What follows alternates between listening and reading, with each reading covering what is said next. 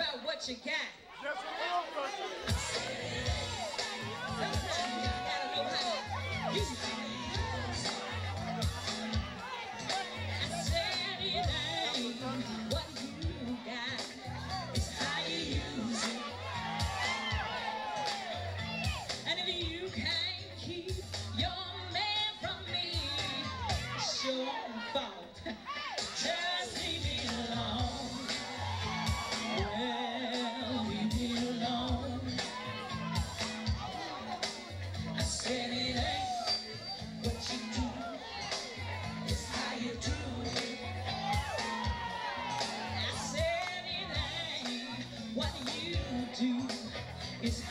Jesus.